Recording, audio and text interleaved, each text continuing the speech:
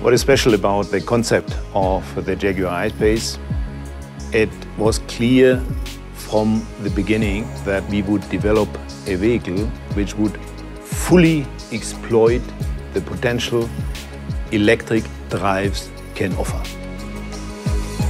So we started with a clean sheet of paper and what do you first?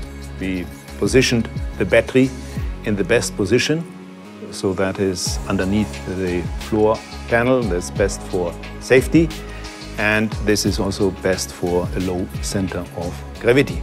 If you compare the vehicle to existing ones with the exterior length of the smallest Jaguar, the Jaguar XE, we realize the interior space of the largest Jaguar, the Jaguar XJ.